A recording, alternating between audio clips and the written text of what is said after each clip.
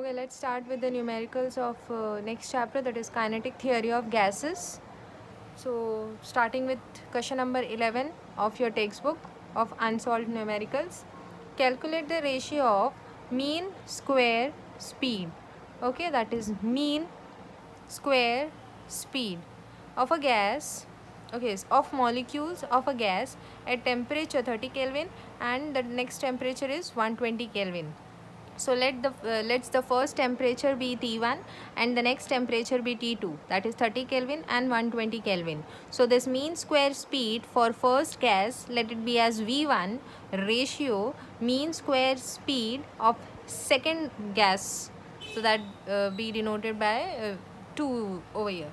Okay that is mean square speed of first gas upon mean square speed of second gas. We need the ratio of this.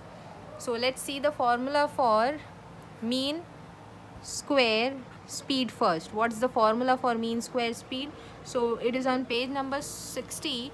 We have the formula for root mean square speed. If we remove this root that is square root, we'll get the formula for mean square speed.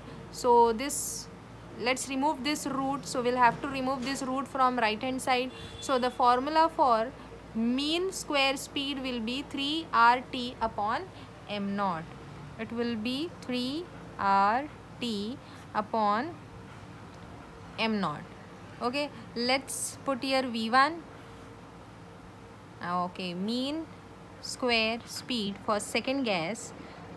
Uh, even that will be uh, 3 RT upon m naught. So 3 is constant let's means let the 3 gets can cancel r is universal gas constant. M naught is the molar mass of the gas. Since here the gas is same same gas so even this will get cancelled so what we get over here let this be t1 and this be t2 so what remains with me? Mean square speed of first gas upon mean square speed of second gas is equal to T1 upon T2. Let's substitute what is T1. T1 is nothing but 30 and what is T2? It is 120. So 0 and 0. So 3 ones are and 3 fours are. So the ratio of mean square speed of first gas upon mean okay mean square speed of second gas is equal to 1 upon 4 okay so this is the answer. Now coming to your next numerical that is numerical number 12 of your textbook. Two vessels A and B are filled with same gas. The gas is same and we have two vessels. Where volume temperature and pressure in vessel A is twice. Okay so volume temperature and pressure. In my okay. In my vessel A vessel A is equal to twice the volume temperature and pressure in vessel B. So this is twice the volume of gas in vessel B and the temperature is twice the temperature of vessel B and pressure is twice the pressure of gas in vessel B. This is the condition given to us. What is asked to calculate? Calculate the ratio of number of molecules of gas. Ratio, okay, ratio of number of molecules that is N, number of molecules of gas in vessel A to that in vessel B so we will be finding this. We have two formulas for this. That is uh, n is equal to number of molecules upon Avogadro's number. So here comes the number of molecules.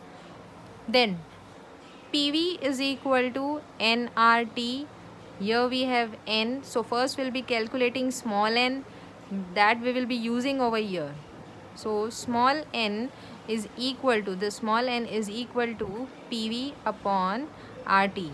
Okay, now for uh, A and B. Okay, so if this is for A,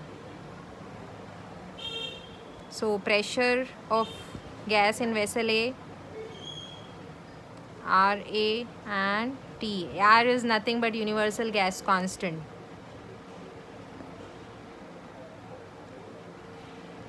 Upon NB that is nothing but upon PV upon RT. So PB, VB, RB and TB. So this is the ratio which we have taken. R is nothing but universal gas constant. So this will get cancelled. What remains with me?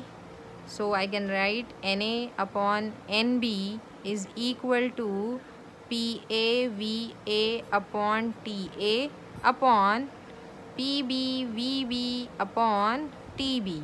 So here comes the condition that is P VA is equal to 2B. So we'll be doing that substitutions. PA is equal to 2B. So 2 so 2 PB VA is equal to 2 VB VA is equal to 2 VB upon TA is equal to 2 TB 2 TB and here comes the next denominator that is PB VB upon TB so this PB this PB this VB and this VB and this TB and this TB gets cancelled.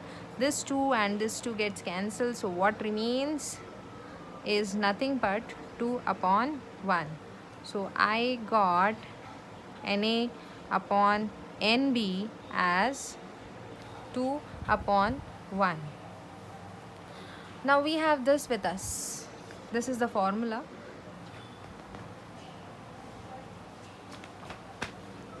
that is n is equal to capital N upon Na. Now Na is Avogadro's number. This confuses us. What we want to find that is Na upon Nb. Let's consider this as N1 upon N2 okay? Why we are considering na upon nb as n1 upon n2 because in this formula we have na this is nothing but avogadro's number. So for time being i am writing this na upon nb as n1 upon n2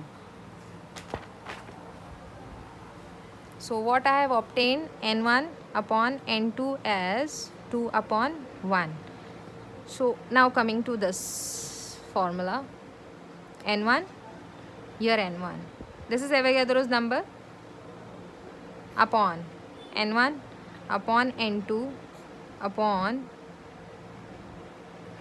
n2 upon na right? N2 will also be equal to this now.